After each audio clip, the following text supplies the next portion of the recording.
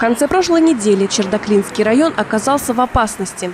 Всему виной большой пожар, вспыхнувший в местном лесхозе. Из-за сильного ветра появилась угроза распространения огня в сторону ближайших населенных пунктов. Такой оказалась легенда учений ульяновских спасателей. На место условной ЧС экстренно выехали силы оперативного реагирования. Население было эвакуировано и развернуты пункты временного размещения. К ликвидации последствий условного пожара были привлечены более 100 человек личного состава и свыше 30 единиц техники.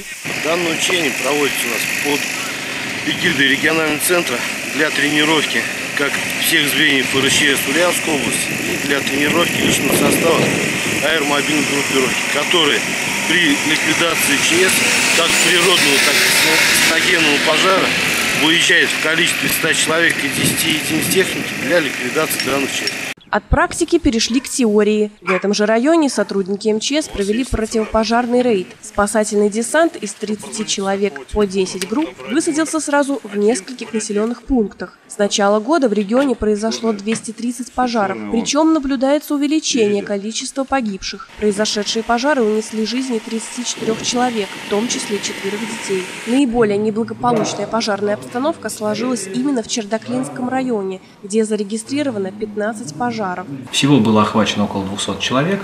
Э, посмотрены места проживания. Особое внимание было уделено э, многодетным семьям, э, а также лицам, склонным к злоупотреблению спиртными напитками. Сотрудники обращали внимание жителей на неправильное устройство и эксплуатацию печей, состояние электропроводки.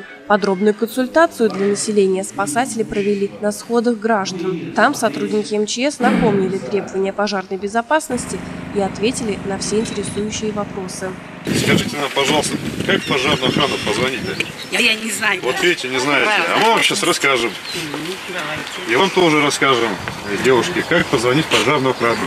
Чтобы позвонить в пожарную охрану сотового телефона, необходимо набрать номер 101. Дарья Сударева, новости Ульяновской правды.